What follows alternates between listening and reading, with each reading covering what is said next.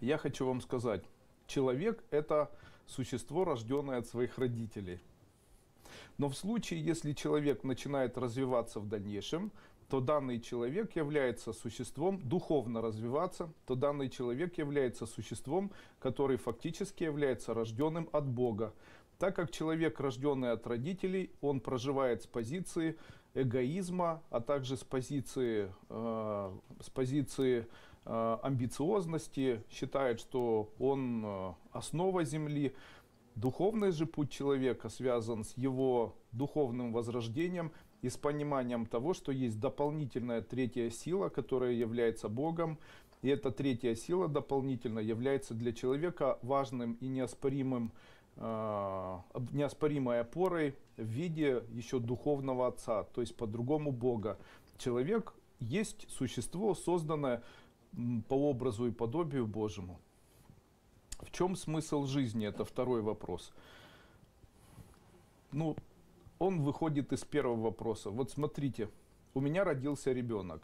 А, скажите, что я хочу дать этому ребенку или зачем я рожаю этого человека, даже не зачем я рожаю, а в тот момент, когда родился у меня ребенок, какие желания у меня, когда я начинаю смотреть за этим ребенком, думать о нем.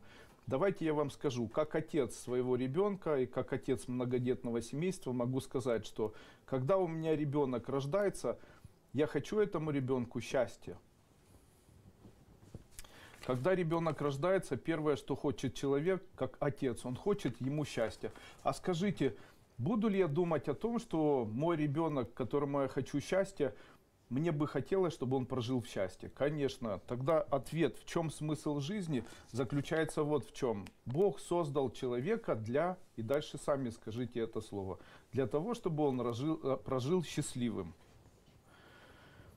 Быть счастливым – это и есть наша основная цель и наша основная задача для того, чтобы не расстраивать своего духовного отца, то есть по-другому Бога. В чем смысл жизни? Я уже объяснил. Смысл жизни является смыслом, в ходе которого человек должен быть счастливым человеком. Задайте себе вопрос, исполняете ли вы миссию божественную, которая наложена на плечи человека, и являетесь ли вы счастливым человеком? Ответив на этот вопрос, скажите себе, кто мне мешает быть счастливым человеком. И дальше разделите. Это мое внутреннее состояние мешает, это внешнее мир мешает. И что, по моему мнению, быть счастливым человеком. Я хочу вам сказать, что для того, чтобы человек становился счастливым человеком, ему необходимо, чтобы в середине его по чуть-чуть исчезал